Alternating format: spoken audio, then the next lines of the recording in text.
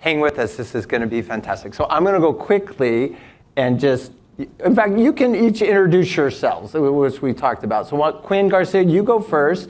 Um, he is the co-founder of Autotech Ventures. Um, he is, I would say, considered a pretty amazing guru and investor in um, Autotech. And why don't you talk about yourself, and then Kent, I'll introduce you right after that. So sure. Uh, hi, everyone. Uh, yeah, Quin Garcia. I'm one of the managing directors of uh, Autotech Ventures. Um, we focus on mobility startups, so ground transportation startups. Uh, we manage about $500 million in uh, venture capital funds uh, focused on early stage ground, ground transport. Um, our mission as a firm is to build the world's strongest community of people who share our passion for mobility tech. and the idea is to bring together entrepreneurs and funding and industry experts, and including large corporations, to try to solve the world's most pressing uh, transportation problems. Just a little objective there, so uh, now that's awesome. we we are going to talk a lot more of that. And Ken, Kent Helfrich from this little company called uh, General Motors, uh, the Chief Technology Officer, the Head of Research and Development, and he leads their venture group. So delighted to have you. Tell us about yourself. Well, really glad to be here and thanks for the opportunity. So at GM, we really believe in a future of zero crashes, zero emissions, and zero congestion. And in order to achieve that, we actually have to bring autonomous, electrified, connected vehicles to the market at scale. And so my job is actually, it's like the best job in the company. And, and org charts never solve a problem, but it tells you the strategy. And this is really critical because my job as CTO has research and development, ventures, and also technology commercialization. So those three things together really gives me the opportunity to take great ideas from outside the company, meld them with the IP that we have inside the company, and actually raise everyone's boat in the industry. And we'll talk some more about that because there's just a lot happening in the startup world, and I know we're going to talk about that, and I can't wait. Uh, it's going to be awesome. Thank you, Kent. So, Mike, our partner at Flex, the president of Flex Automotive, uh, you have an interesting background too. It sounds like you two knew each other before in life here. And it's possible. Yeah. So, please introduce. Right. So, hey, my name is Mike Thoeny, and first of all, before I get started with uh, introduction, I just want to say thank you. Uh, this uh, partnering with you and the KPMG team and getting this this now live, and also appreciate the folks on the line uh, joining together to talk about innovation, especially here at uh, Flex in our Milpitas location, which has been a kind of a home base of innovation for our company for many years, launching a lot of next generation products. So, in terms of my background, I've been in the automotive space for about 34 years. Uh, spent a lot of time working on bringing first generation technologies to market, you know, going back to um, early electric vehicle days for power electronics, uh, the uh, advanced driver assistance systems, ADAS, progressing to autonomous, scalable compute systems, et cetera. So working for Flex and leading our automotive business, we're really focused on helping our customers accelerate next-gen mobility uh, along these same lines. So we are so excited to be a part of that. And uh, we'll talk more about some of the challenges here coming up. Yeah, let's get into it. All right, star-studded group, I told you. Okay, so let's get brass tactics. So the startup community, we're going to have three coming up mm-hmm. uh, in, a, in a little bit, but they have these big ideas, they take risk. Um, we'll talk about the venture side of this, but I want to start with you, Kent. And you said something when you and I were chatting earlier about how you think about them and what the General Motors bureaucracy and history and, and, and, uh, and how you approach them. Um, I, I, I, forgot how you said it exactly, but I, it's hard to always make them succeed, but you said it in a different way. So talk about the cultural aspect of you finding these amazing companies and what you did with Kyle and, and Cruise, and then integrating them or keeping them apart. What is it like in the behemoth General Motors for, for and, and how you view them and how the startups view you?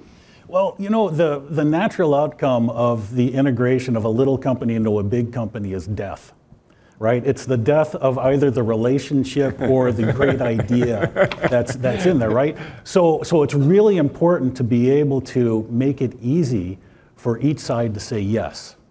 And this means accommodation on a large company. Um, you know, companies are not irrational. They, they, they develop for a reason. So there's legal processes, there's purchasing processes, there's all these financial things that are out there that are there for a reason, but they don't support the integration of new ideas very effectively. So what ventures and what R&D is able to do is actually create um, new processes that fit within that same construct for both companies so that it's a win-win. And it makes it very easy for these ideas to gestate and to become something bigger and better. And because we're insiders in the company, and like I've worked on anything that has a wire connected to it in the car, I've worked on it at some point in my career. And so that makes it easy for me to say, here's how we're going to approach this and how it's going to integrate into the fabric of the vehicle and the fabric of the company. And then the other thing that's really important about GM Ventures as a corp, as a corp VC, and, and Quin will talk a bit about you know the, the, the rest of the VC uh, ecosystem. Um, what's unique about GM as a corp VC is that we're not interested in buying companies. We're interested in being their first and best customer. And that means taking their ideas, and for, for example, um, UVEye is a startup in Israel, under vehicle uh, inspection, UVEYE. Is, is, and they have a product that is a, a, camera system that you can drive. I have met them, by the way. I met yeah. them at uh, EcoMotion. Damn, you're working with them? Well, we went from okay, meeting I'm sorry. them. Go ahead. Yeah, we I didn't from, know this story. we went ahead. from meeting them to investing in them in April and putting their product in our dealerships now.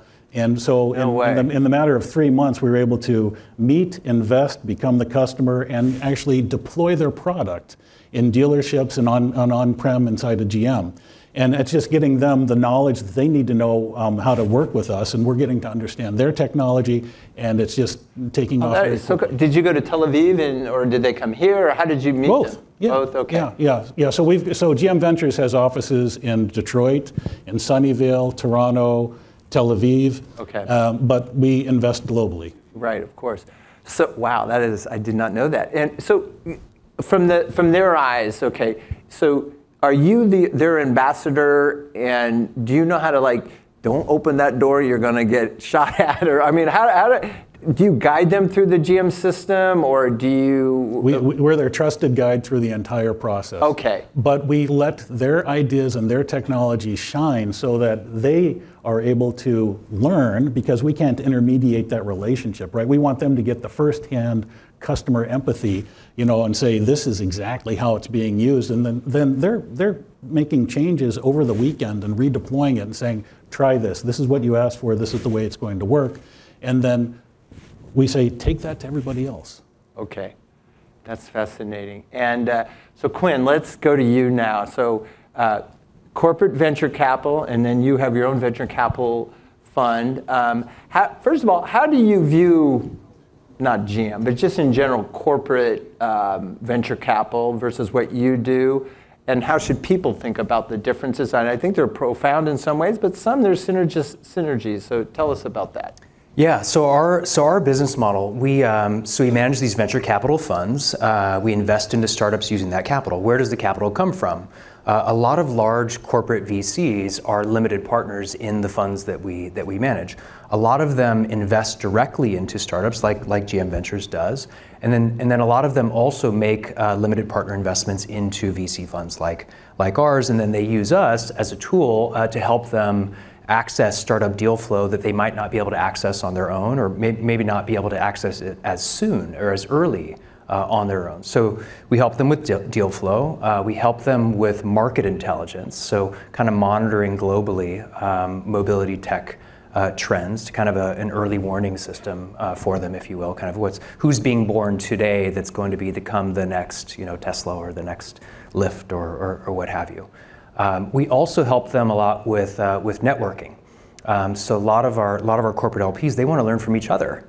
Uh, and so I mentioned earlier, you know, our, our mission as a firm is to build community among among our LPs and uh, and the entrepreneurs that we've invested in. So we host various events throughout the year where we bring together uh, these corporate executives, many of which have a corporate VC program. Uh, and entrepreneurs that we've invested in, and, and then also other types of LPs like financial institutions, you know, funds of funds and banks and uh, and the like that are that are more kind of financially motivated investors in our funds. So so we view um, corporate VCs as our lifeblood. Um, they're a source of capital for our funds, and then we also end up co-investing uh, very frequently with uh, with corporations, many of which are our LPs, but also uh, other other corporations that may not be an LP uh, will co-invest alongside them. I'll get to you in a second, Mike, but I want to talk about uh, the uh, incentives here. So. Jim Adler, who you may know, was a keynote speaker here a few years ago. He runs Toyota Research, or the Toyota Ventures, basically their AI ventures, and they structured their they structured uh, their VC similar to how yours is structured. So they get, I don't know if they have a carry, but certainly they get the upside of of the venture, and he's incentivized to do that. Um, I, I was fascinated in, in a, a company like Toyota to do that in many ways is very innovative uh, for them. Does GM, I mean, I think you're worth it. So, I mean, let's say you pick this Israeli one and it goes big. This guy, if he was an investor, you can tell us some of your economics, hopefully. But do you do it that way at GM, or how has it looked like at GM as the head of uh, ventures? Or should we talk afterwards and I'll, you and I can talk to Mary? so, so we, we invest in order to become the best and first customer. And, and our goal is to incorporate these technologies into our, our products and services. So the, the financial upside is, is a benefit, but our main metric is really having the, the products that we're proud of to take to market. Okay. And, and our capital is really patient. Okay. And my back office is the best back office you can imagine because I've got world renowned researchers that, that can go and actually help the, the startup and you know actually create their idea and, and be able to solve some of the thorny problems that, that are always going to be faced. So the, the, the, finance is good. Otherwise, you know, we wouldn't have lasted for 12 years and made all the investments that we've had. We've got over 25 portfolio companies. We've had 10 exits. We've made 55 investments. We look at 400 plus companies a year, you know, and it's, it's continuous. And, and having great partners that we share insights and deal flow with is, is the lifeblood of the industry. It's all about relationships. And it's all about you know being transparent and being fast and being clear about what your thesis is. Excellent, excellent. I still think you should get more money. We'll talk to Mary about that later, I'm sure. So, no, that's no. It is seriously no. The, the staple of R&D researchers that you can bring and what that means for the startup is, is, is fantastic and it's invaluable. I'm sure in many ways. So, uh, Mike, I want to bring you in the conversation. So these great companies show up and they got to make something, right? Or they don't know how uh, to do all. How do you come into this ecosystem and where do you guys play in this? Ah, that's a great question. Well, let's, let's talk a little bit about ecosystem first and I'll come back to that. So one of the things that, you know, talking about next gen mobility for us, you know, this, as I mentioned earlier, I've been in this industry for a long time. And this has been such a unique time where this whole approach a number of different transformational elements are all coming together. You know, the first one, I think, and it reflects on the diversity of the group that we have here today, talks about how products are being developed and who's developing. The old way of doing things from a car company specifying a product to a full service tier one, who goes off and does all the hardware, software, manufacturing, verification, validation, systems integration in the vehicle, et cetera. I mean, those days are going away, right, in many ways. And, uh, and I think when you, when you look at the next generation mobility, it requires next generation ecosystems to support it. It's a network of innovators that are working together to accelerate technology to market that's safe, reliable, uh, upgradable, et cetera, right? And so that's kind of the, one, of the, one of the key things that are here, and I think it really reflects well on this audience. Uh, I'm happy to have everybody here to talk about this that are part of this new dynamic ecosystem uh, that we're putting together uh, as an industry to accelerate these new technologies. So that's one of these transformational elements. You know, the other part, of course, when you think about it from a technology standpoint, the acceleration of electric vehicle platforms. It's also transformational ground up thinking in terms of how we're building cars uh, together, together as an industry. Um, also driven by sustainability requirements, et cetera. So, you know, you think about the fast growth, you know, a lot of companies have been playing in this space for so long. Now it's real, right? We know it's real. Everybody's going to do it. Everybody's investing. The other element that I think is also transformational, also coming in at the same time, is uh, the fundamental vehicle architecture. So I've been, you know, I think back to our early days when you, a feature is a box, Okay, so the company I used to work for, you know, we used to advertise in the 90s little black boxes, right? And each box was a feature. Now these features are in software, all right? The software-defined vehicle. You know, you heard uh, multiple references to it today. So the features are defined in software, and so the, the architecture in the car has to change as well to support that. So massive scalable computing platforms that are in the vehicle that, again, enables the, the power of the software-defined vehicle that allows the vehicle to be upgradable, uh, constant upgrades, constant connectivity, real time, new features that can be, uh, can be brought into bear. So that's another element. And that leads to OEMs and their transformational thinking about how they want to be a part of that, right? Which means developing software, owning the intellectual property, and not just farming that work out to others. And uh, that drive requires, again, now closing the loop back to where we started, a new ecosystem of partners that can, can collaborate in different ways. And so what Flex does, to back to your question, right, is we enable, we accelerate.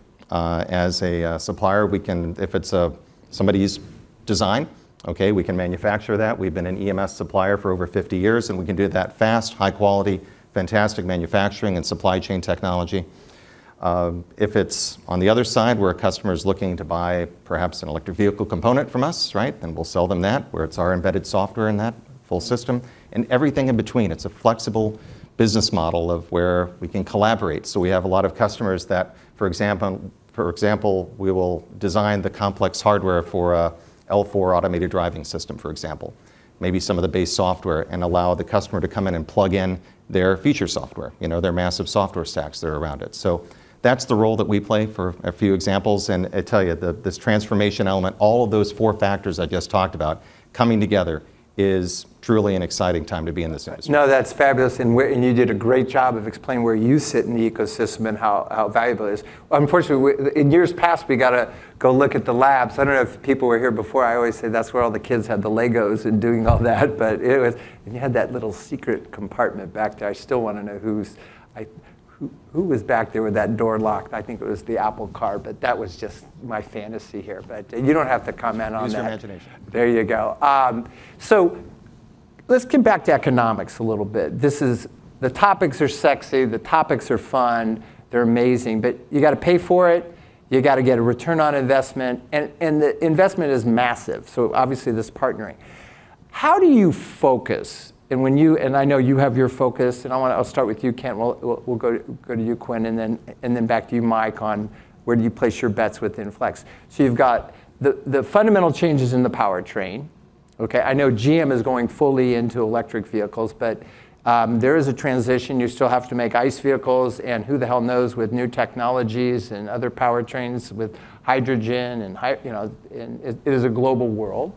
Um, you have the amazing automated technologies we're talking about today, and we saw, uh, and those are billion dollar bets going on there. Uh, and then you have the, the cool car. I mean, all the infotainment, the electronics, the, the amazing things going on in the car. It's going to be a computer on wheels with movies and all the, you know, all the cool things there that's happening there. And, and not just AV, it's ADAS too. And lastly, at some point in time, these cars are going to be connected and Lord knows flying. But so you got all these billion dollar bets. Um, how do you at GM prioritize all that? I mean, how, how, how, does it work? Give us your secret sauce, and then we'll get later on of, of your, well, at the end, I'll, I'll ask your personal opinion. But maybe just how do you think about the investment structure and where you focus at GM? All right. So it all goes back to that zero, zero, zero vision of zero crashes, zero emissions, zero congestion. So when you, when you start peeling that back, you get into electrified vehicles and vehicles that are always connected. And for us, this isn't new. We've had a, a, brand called OnStar for 25 years. Right. right. Little known, OnStar returns multiple billions of dollars of revenue at very high EBIT on a yearly basis. And this is through connected services and things which are, you know, part of the mobility ecosystem writ large. On the bottom side of that, though, is the telematics and the data that's coming off of the vehicle.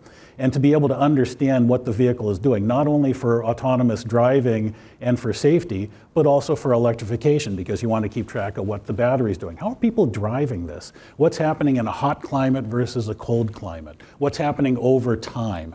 And so that data is hugely valuable so that we can understand the, the durability and the longevity of our vehicles. And what we're finding is our vehicles actually last a long, long time, right? And the degradation is very minor.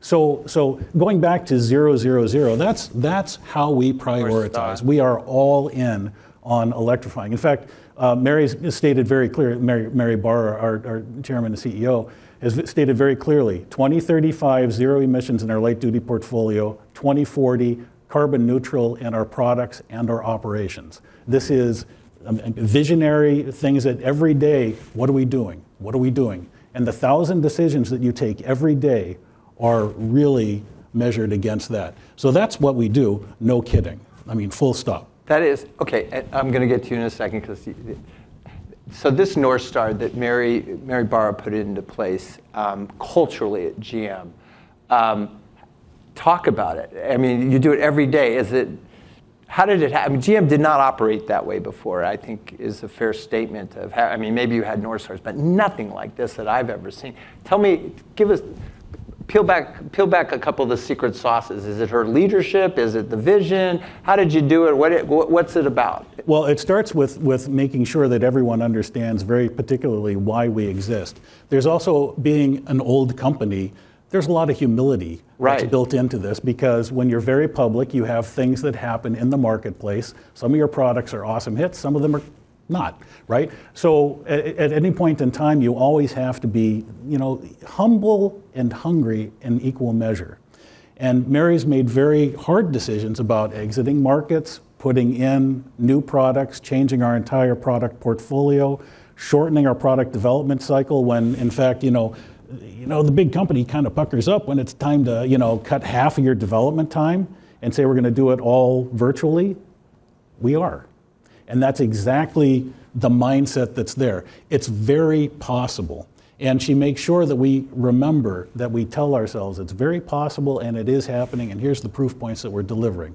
So as these new products are showing up in the marketplace now, the uh, the GMC Hummer EV, you know, the the, the, the big pickup truck. That is that, amazing. And I love that video, by the way. Uh, have you ever seen? Uh, so look on, on, on, YouTube. You look up Watts to Freedom. W A T T S. Watts to Freedom. It's kind of a hidden mode inside the uh, GMC Hummer EV. You know, the, the the point here is that there are the the, the products are exciting. They're compelling and we're doing them in a much shorter time frame than we have in the past. And that's because we have two new platforms, our Ultium uh, propulsion platform, which is batteries, battery cells, and power electronics and motors that can go across our entire portfolio and also our Ultifi software platform, which has actually abstracted the customer-facing feature software from the deeply embedded safety-critical software that actually runs the, the you know, what Chris was talking about, the, the um, uh, redundant steering redundant and braking and all that stuff. So they're abstracted uh, apart, and that allows us to reuse the things that we're very good at while enabling us uh, to do um, all of the things that we want to do in the future. So those two platforms together really give us the opportunity to move much more quickly and to, and to iterate the platforms as quickly as possible. And, and your focus on where you invest, that's very, that's great, that's very clear. So Quin, you have your North Star. First of all, tell us, you told us in the beginning what your North Star is, but how do you do it with your, your partners and you got investors, right? They, they got to buy into this and, and how do you stick to it? Tell, tell us how, how all that works. Sure. Uh, so we focus only on ground transportation, uh, so things with wheels uh, and all the services related to movement of people and goods along the ground. Nothing that flies, nothing that floats. Okay. Right. So movement of, of people and goods along the surface of the earth uh, is our is our scope. We're agnostic to vehicle types, so it could be scooters, bikes, cars, motorcycles, trucks, buses, farm vehicles, so anything with wheels or, or rails and all those all the services related to uh, to those vehicles, both from a consumer perspective and from a a B2B perspective. Um, the way we do what we do, the way we form theses, uh, is we listen to large corporations uh, and what, what pain points they have as kind of the voice of the B2B customer, if you will. Uh, and a lot of corporations are saying, hey, you know, I want to I want to get involved with connectivity. I have pain points related to connectivity, autonomy, uh, shared use of vehicles, electrification and energy efficiency, and then digitization, uh, which is basically Industry 4.0 and, and e-commerce, using using IT to automate uh, a corporation's operations, whether it be transacting with a customer or supplier, or whether it be streamlining their internal operations. Let's say using computer vision. Uh, we talked about UVEye earlier. Let's say using computer vision to automate some workflow in an internal operation. So we call that CASED, C A S E D. I think everyone in the room probably knows this whole ACES or CASE uh, acronym. We just add a D on the end for uh, digitization. And what we do is we're listening to corporations on one side who have these pain points, and then also listening to entrepreneurs on the other side who have a you know dream of of solving some of those pain points. Um, same holds true with consumers. Um, we we all as as consumers can feel pain related to parking your car or overpaying for insurance or getting gouged at the dealership or getting gouged at the repair shop or physically getting into a crash and feeling pain like that. So so we're searching for pain points uh, from businesses and consumers. We're, we're searching for entrepreneurs who are looking to solve those. And then we and then we want to invest into those companies that are trying to solve the pain points and serve as a bridge to help that entrepreneur then access uh, large corporations who can be their suppliers, channel partners, customers. Um, uh, serve as a bridge to industry experts who can serve as, let's say, a board director at a at a startup or an advisor or a C-level exec at that startup. So, so we invest and then we help the entrepreneurs uh, with talent, finding talent. We help them finding with uh, business development. We help them uh, to find uh, capital uh, as well. so we're an early stage investor. We do mainly seed and Series A, so very you know risky young young companies. We can do a little bit of mid stage, let's say Series B or C. We primarily do capital light businesses. Um, so you probably won't see us investing into the next Tesla or you know Rivian or you know great companies, uh, just not a fit for uh, for our investment strategy. We want to put you know a small amount of money into a, a, company, let's say millions to tens of millions, and have it turn into something very large, as opposed to a really capital intensive uh, business model. The genius of American capitalism. I love it. So, you know, I'm a free market guy, so I love all this. Oh, back to you, Mike. How do you how do you think about it at Flex? Obviously, these are billion dollar bets. You guys got to focus on where your engineering, your prowess. How, how, do you prioritize it at Flex? Yeah, that's a great question. Well, look, um, you know, Kent gave a hint of the priorities of car companies, right? And our job is to help support uh, those companies achieve their vision. So you were talking about different acronyms. So our acronym is ACES, right? So ADAS, autonomous, connectivity, uh, electrification, smart tech are the are kind of our, our current businesses. A lot of uh, you know legacy business as well that we're proud of. But the but the real focus of the of the of where we're investing, we're growing our capability in both engineering, manufacturing, supply chain, et cetera, is in this next next gen mobility space. So electric vehicle, scalable compute to help support the zone domain central compute modules, you know, to support across multiple uh, different, um, uh, you know, nodes of, of uh, capabilities. So not just autonomous and ADAS, but also, you know, infotainment, body electronics, all the other elements here that make up these different domains around the car to be able to make sure that we have the right level of scalable compute solutions to help our customers with their software insert into that. And sometimes, again, as I mentioned earlier with this business model, you know, we, we do want to make sure that we're emphasizing this flexibility of not saying buy our tech or, or nothing, right? Like I said, sometimes we just are manufacturing, sometimes it's all us. But a lot of times, and this is the sweet spot for us right now, is working together, right? To figure out how Come to make the, the, OEMs that are wanting to develop their own technology to help them get that technology together faster. So we maybe, instead of white or black box, maybe we call it gray box, right? With this collaborative um, uh, environment that we have. So next gen mobility, those are some of the areas, right? And, and if you think, if you look at the growth of the market, just to put some numbers behind what uh, Kent was talking about, you know, uh, customers expect their cars to be safe. They expect this, this smartphone on wheels level of upgradability and constant updates and connectivity. And so you tie all those things together where we're looking. You know, that's from, a, from an automotive standpoint where we're putting our, our bets and making those investments. But from a Flex standpoint, you know, automotive is only one-sixth of the company. We're a multi-industry company. So we look at this beyond the car and really think about ecosystems beyond the car. So with the rise of electrification, need, you, you need infrastructure for that. So we have an industrial team that we partner with and we think about, you know, the, for example, some of the electric vehicle charging uh, products that they're creating and how, and how does that interact with the overall system or some of the uh, connections to grid that are being done.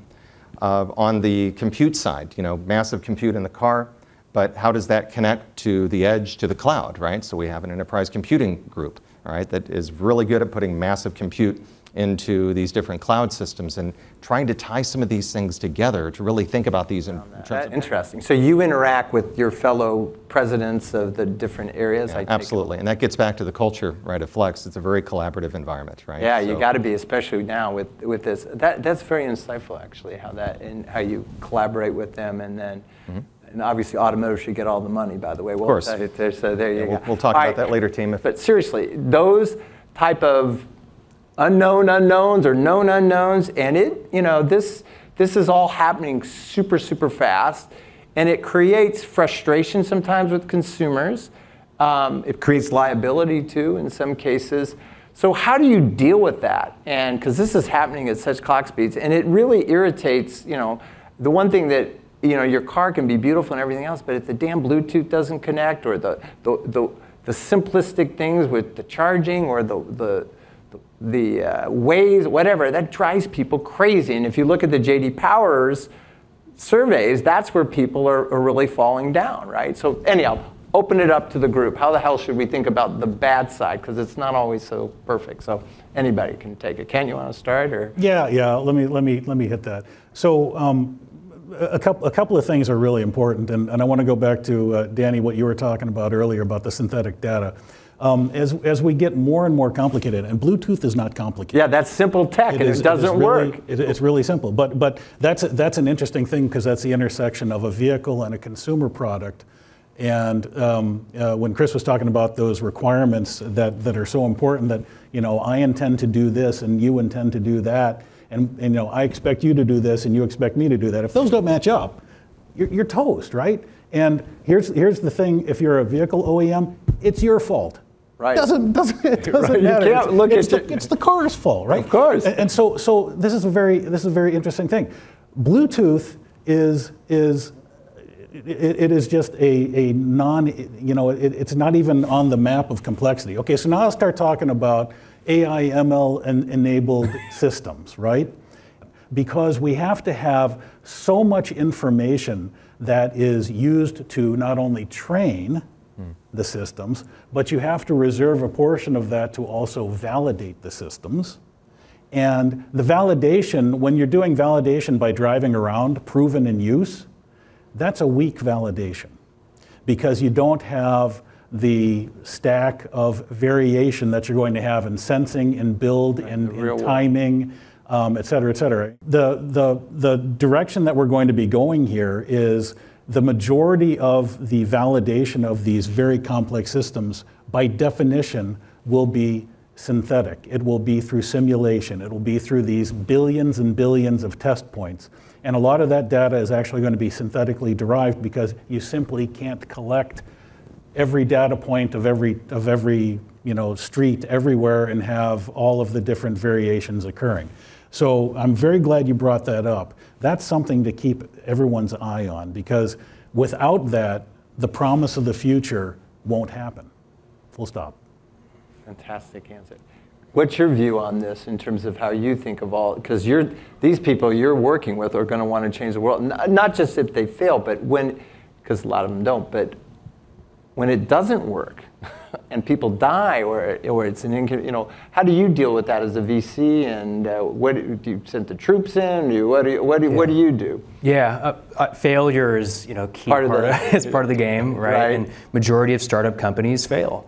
They're extremely high risk R and D projects, is, is what they are, and they're and they're people. They're led by people who have a very high tolerance for for risk, and I would I would include myself as one of those. I view myself as an entrepreneur as opposed to to an, to an investor, a company builder who's willing to take to take risks, and uh, that's what they do. Uh, and they fail. They fail most of the time, and then some of them achieve a breakthrough. And even when they do achieve a breakthrough, there's still all kinds of flaws and bugs and uh, caveats and risks associated with that that breakthrough. But as long as you keep kind of pounding away and and keep on mitigating each of those risks, you can eventually uh, achieve kind of your end, your end goal.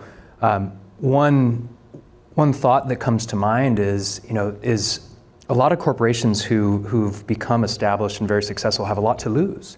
uh, and they become a little bit less willing to take massive risks because they have this wonderful profit stream and instead of people. Yeah, we were talking about that early on. Right, exactly. On, on their business, but you know, startup companies don't have as much to lose, and so they can take big risks and big swings.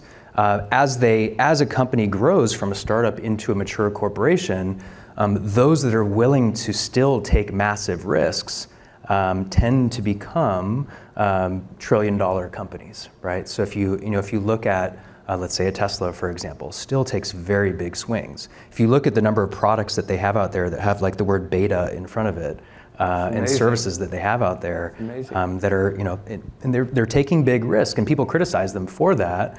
Um, and yes, a lot of people's lives are at, at risk here, um, but they also they think it's worth worth the risk. So I think there's other companies here in Silicon Valley, and there's other companies around the world that are also still willing to take very big swings, uh, despite being a massive corporation with a with a lot to lose. Interesting. And Mike, you, I mean, because you, some of this you manufacture, and it could be your reputation on the line. It doesn't always work, or who you're working with, or how do you guys think about when things don't work the way no, they're supposed to? It's a, it's a great question. So I think it really starts with, um, you know, when you think about this ecosystem approach that we've talked about, you know, there's, it does mean there's more players, and that also creates opportunities to not completely specify and, va- and, validate the systems together. So we understand our part of this, right? So it starts with making sure that, you know, from the beginning of uh, designing a platform, that we're working early, uh, for example, on compute with uh, chip suppliers. So, you know, Danny, the partnership on the DRIVE Orin platform, understanding early on what that looks like, building building platforms before we have the first program to understand it so that we can help our customers utilize that technology, right, or other chipsets that we're working with with other suppliers. Um, another thing is in terms of the manufacturing capabilities. So we use digital twin technology in our manufacturing plants extensively to try to model our plants. So we have a lot of customers that when they're ready to go to launch, you know, they want to launch soon. So we have some automotive programs that I'm, I'm hardwired to think it's three to four years. No, think nine months, right? Wow. You got to go through a DV and a PV cycle quickly, right, for some of our customers. And, and you have to have that level of simulation work in the plants, even though it sounds maybe not as flashy as some of the examples but that's also an element to make sure that we're building, you know, near zero, you know, uh, ppm type of quality, right, uh, as we come in, into, the, into, into the game. Same thing with our supply base, making sure that we're getting the right quality of components coming into the plant door. So that's on the manufacturing and the quality side. And then you also have the partnership element of making sure that we're working on the system integration tasks. So we have architects, even though we may not be designing all of the, you know, the high-end software stacks for autonomous driving, for example, we have architects that understand those elements so they can really very clearly understand the interface of customer software to our hardware platform and our base software, for example. So all of those things come together to try to improve the quality overall to lessen the number of those frustrating issues. But, but let's also face it, right? There's how many lines of code? 100 million lines of code in a, in a typical high-end car and growing exponentially. And that's why the thing we've talked about before in terms of this overall connectivity from edge to cloud, to be able to recognize when software issues are found that you can update and re, uh, reprogram the cars, you know, on a very dynamic and regular basis, just like you have on your smartphone, right, to, to create constant updates, in addition to the new features and the other data monetization examples that we've talked about before. Okay. That's our approach. Fascinating. Right, I'm going to switch gears a little bit. Um, I want to talk about talent. Um, everything we talked about takes enormous amount of brain power and talent and motivation. Um, in today's world, that is the commodity people are trying to get all the time. So, maybe Michael, let me start with you on this one. How do you attract? How does who are you looking for, and how do you actually attract them? What's your what's your pitch and and, and thinking about that? Because you got, I'm sure. Uh, Kent's trying to grab people, and this guy's talking to some pretty talented. I mean, so how does it work? Yeah, it's a great question. I will tell you that um, you know attracting the right team is so important in this area. And uh, for Flex, we're growing. You know, I know there's uh, maybe some companies that are thinking about cutting back on hiring, but we are we are making our bet on next gen mobility and this set of products. It's growing. Our, our growth has been pretty strong. So one of our attract our points of attraction, if you will, to potential candidates is to really share our vision share how we work from a cultural perspective of uh, working together, but also letting people know that they're going to have a chance to work on some of this new technology very interactively with our customers and with our global teams and our plants and our and our product development activities. And quite frankly, we've um, we've done fairly well in terms of attracting some really fantastic talent globally. And so those are a few of the things we look at. Obviously, uh, partnerships with different, uh, different groups that, uh, that you know, allow us to target certain skill sets that we're looking to try to hire. Um, you know, there's so much growth, for example, in electric vehicle. For, you know, so we're, we're hiring a large team for that, and we've already hired some really uh, talented people. That's a, and you know, there's certain parts of the world that it's going to be very tough to get those types of uh, Yeah. team members to join. And I think that we've done, uh, I'd like to say we've done better than most, right, in terms of getting a really good team.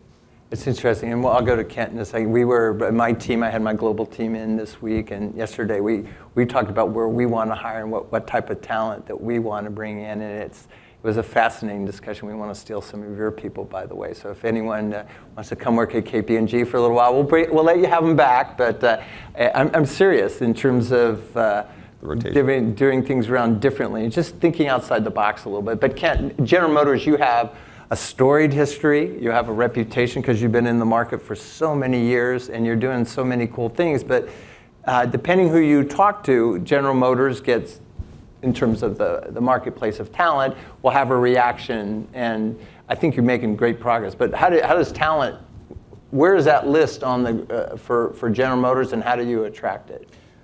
Uh, Many of the people that are joining GM right now are actually attracted to the zero, zero, zero vision. Right. And, and, and are very vocal about it. They want to change society. And you, and you change society by working with big companies, right?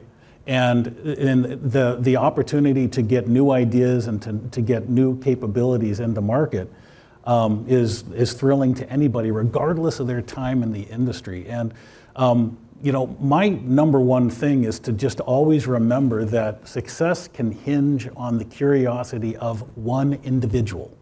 One individual, and you have to, you have to, as a, as a leader, you have to treat every moment as that moment where it might be the, the inflection point, right? That is great. And, and you really Say it again. That is, I think it's I have so no true. idea what I just said. You just said that. Replay the tape, the inflection point. No, on the curiosity. I love Well, it. so- so That's in- what Einstein said. So about that. intellectual curiosity and this natural drive to understand and to create and not to be put off by the first time it didn't work, right? And to just, you know, kind of keep working your way around and then surround them with people who are just as intellectually curious and capable as they are. It can all hinge on one person's moment where where someone has to say it's possible and you can do it and then it happens. And then they're like, "Well, I'm surprised that, that happened." I'm not. You know, and that's and that's the beauty of having the resources and the mission and the mandate to change fundamentally what you're doing. And that's the, and that's like turning this this big tuna boat that's GM, right? Right. It, it, it- it's actually much more agile, much more fast, and, and radically transparent. There is nothing hidden inside the company. So that makes it very easy for us to say, you know, we said we were doing that last week, we're doing this now, and nobody's like, well, you know, nobody consulted me about that. No, it's, it's all just open because this is the environment in which we work. So, you know, is it different? Yes, it's, it's different, but is it unnatural? Not at all. Not at all. Wow. And for a storied company, how old is GM now? 100 and Um, it's, it's started in the early 1900s, right? yeah, so 120. Yeah, and to be able to evolve and be around and to, to, And, and, and just remember, in the, early, in the early 1900s, there were several hundred uh, automotive, Automotive manufacturers, right? That's what General Motors was, was an aggregation of a of- whole bunch. Yeah. Of, uh, of, in fact, we still have uh, the Dort Durant um, uh, factory in uh, Flint, Michigan, and we often have uh, retreats there where you sit and think about things, but you're just surrounded by the, the history of the company. Yeah, it, by the way, just as a side note, I'm going to get to in a second. We were at the NUMMI plant, or the Tesla, uh, uh, Right. Nelson took us around. I was just, well, he didn't, but they took us around there. And uh, that was your former plant Mm-hmm. in 1962 or three, I forgot. Think when. about that. Yeah, Yeah. right. Uh, By the way, the land, boy, Elon knows how to get a good deal. I think he bought it for 42 million. I don't know what the $900 a square foot in uh, Fremont, California is worth, but I got to believe that's in the billions of the property. But anyhow, uh, You know, and, and we're, we're right now weeks away from going 24/7 in our battery manufacturing joint venture with LG uh, Energy Systems in Lordstown, Ohio. So, like right where automotive manufacturing is Big and was, right, we now have a, a, a huge Oh, that is cool. battery manufacturing um, site that is, you know, creating jobs in the middle of the U.S. And it's, you know, it, you, you, you're never far from the economic impact of the automotive industry in the U.S. Absolutely. Uh, talent. You're, you're, you see a lot of talent, but you got to, you know, how do you think about when you're looking at them as talent? What do you? Sure. Uh, so I can I can comment on talent through a couple different lenses. So one is uh, one is when we're investing in entrepreneurs, what type of people um, are, are we looking to invest in? I love people with superpowers. Um, I love people who have some extreme strengths in some dimension, some big spike. Uh, it happens that people with superpowers also are deficient in other ways, uh, myself, myself included, right? Um, but if you can find people with some, some superpower that's relevant to, uh, to their business, you know, to the kind of market opportunity that they're trying to, trying to um, exploit, um, if you can pair those people up with other uh, different superpowers, right? You suddenly get a team with a bunch of, of large spikes that are all relevant to, uh, to solving this transportation problem that they're, they're working on. So I often, I look for superpowers, I ask people about their superpowers. Oh, really? um, and I also ask people about their deficiencies uh, and the extent to which they understand where they are, where they're deficient, so that they can go out and find other people who, uh, who kind of fill that, that void, if you will, right? And so in, in building our firm, that's exactly what I've done. I've basically recognized that I'm strong at a few things and I'm terrible at a bunch of other things, and I've gone out and I've recruited people who have strengths that I, that I lack. Uh, and I love it when, when other entrepreneurs do that uh, as well once we invest into, into a, a company, uh, we try to help them find people with superpowers that can come and join their team. And so we, we actually just hired uh, an awesome head of talent. Uh, his name's Tyson Bennett. He just joined us. Um, he's, he's there to not only help our firm recruit people to come and join us, we're actually, um, we have our largest hiring wave ever inside of our firm right now. We're a small firm, but we're, we're hiring for like seven people right now. So it's a big time of change and growth for us as a, uh, as a small VC firm.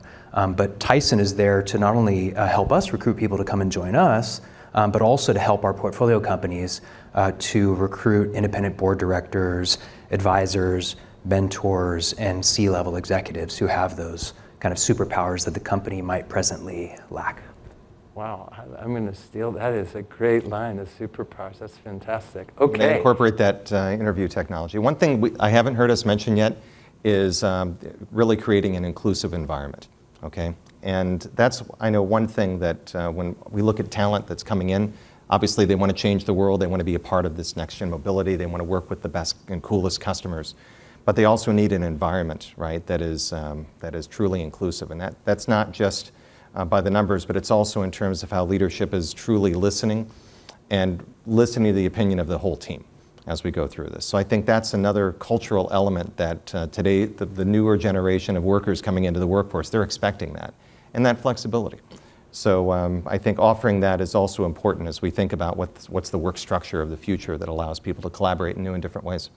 All right, I have one more question, and, and I know people want to. I'll take one from the the group. So we, I kind of gave this away earlier, but and I'll make it even a bigger number because because GM is on there. So I'm going to play God here and give you money, and it, it, where would you, if I gave a billion dollars or what, well, let's just use a billion. I know that's not a lot in GM, but personally gave you a billion dollars, okay? If it went to you, Kent, or went to you, Quin, Mike, where would you, what would you do with the billion dollars? And you have plenty of time to spend it. And where would you prioritize that billion dollars? Go ahead, Quin. So we, we have about a half a billion dollars. Uh, that right would now, double so not, you. not quite there, but with, with our half a billion dollars, we've invested into, uh, into 40 companies um, over the last six and a half, seven years, um, and we basically put our, you know, put our money where our mouth is, right? So uh, we've just recently invested into uh, an online motorbike marketplace called Mundimoto. Um, there's plenty of online car marketplaces, like whether it be, you know, CarMax or, uh, or whether it be Carvana, or in Europe you have a bunch. But if you look around the world, there's not that many motorbike marketplaces um, that, are, that are out there. And so we just invested in Mundimoto. Europeans like motorbikes more than we Americans do. Uh, they're based in Spain, so they're starting in, in Europe. we were also uh, investors in, in Lyft. Uh, so Lyft was founded out of my house many years ago in, in Palo Alto, I didn't um, know that, really. Yeah, oh, wow. yeah. and cool. I've been an advisor to the company for ever, you know, 14, 15 years. Our fund one invested into Lyft.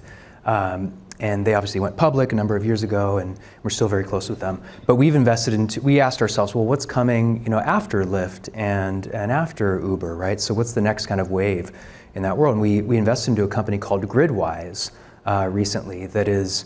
It's basically a tool that rideshare and gig economy drivers can use um, to manage um, their sole proprietorship. They are sole proprietors.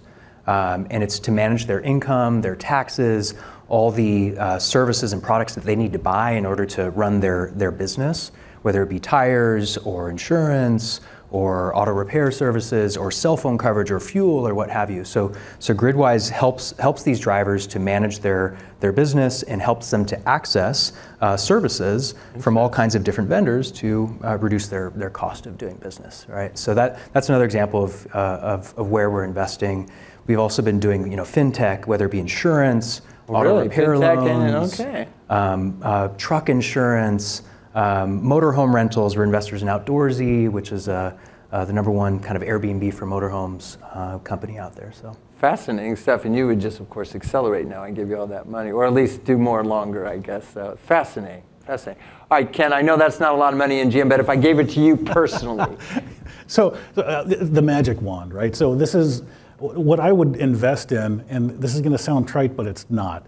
I'd invest in thoughtful people, and I would bring them together and, and put them in this big maker space and bring you know entrepreneurs and startup companies and just kind of keep reshaping that with very finite duration. Now this sounds a lot like my job, right? Which it, which in fact it is, but um, I would do it in a, in, a, in a different scale and in a different fashion, um, and, and really try to prove out the idea of open innovation really working in perpetuity. And frankly, this idea of the mixing and matching, it's got a spotty record of being successful. And I would spend one to two years max trying to figure out how to crack that code. interesting. That's what I would do.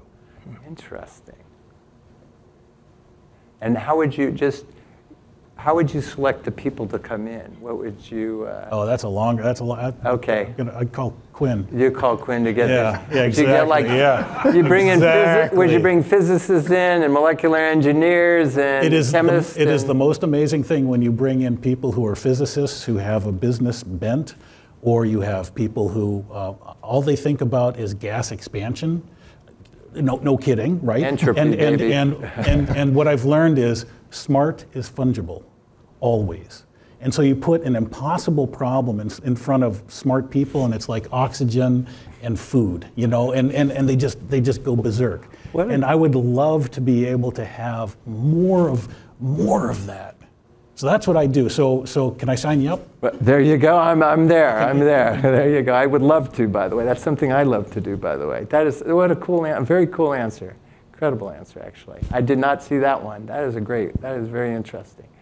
Very cool. Um, Mike, you got. That's a tough one to follow there. Uh, oh my I, can't God. follow, I can't follow that uh, exactly, but I will say this: that uh, on behalf of the three of us, we appreciate the three billion dollar investment that KPMG is making in our companies, and um, My thank you so much. I, I gotta get an email here in a minute. All right, exactly. All right, so look, you know, from our standpoint, this it's a great question, right? Um, you know, Flex has we've invested in acquisitions, we've invested in startups, not startups just for technology's sake, but also identifying future customer startups, right? Um, so there's a few uh, car companies that we have some great business with today, right? That were risks that we took at some point. So finding a few more of those future awesome customers in this next gen mobility space would be one part of it. I think the other part of it is to fill in some of the gaps, right? That, I mean, no, we, nobody should be, try to be all things to all people in this ecosystem approach, right? Because you can't, you can't do it. But we'd like to strengthen, you know, the depth of our electric vehicle portfolio uh, from an electronics perspective, the depth of really trying to solve some of the roadblocks that uh, the car companies are having to really monetize uh, all of these investments that they're making with their design. So it has to be cost effective, right? It truly has to be scalable so that when you have a platform, you know, all the way from the highest end vehicles within the lineup to some of the more entry level vehicles that you can really leverage some of the same architecture and there's investment required in that. So maybe not as exciting, but it's an enabler okay, to accelerating the technology to the point where a car company that maybe is only limited based on their capability is launching a new platform every six months or nine months. Well, what if in the future we could, we could enable them, okay, through you know, standard scalable platforms to launch every three months? With the existing level That of would be a capabilities game changer, yeah. It's a game changer, and hopefully it can really help enable uh, our customers to go to market faster, more robust, to try to take advantage of those trend lines that we talked about earlier: safety, sustainability, um, and uh, robustness. All right. Well, with that, I want to give these people a round of applause. This was absolutely awesome.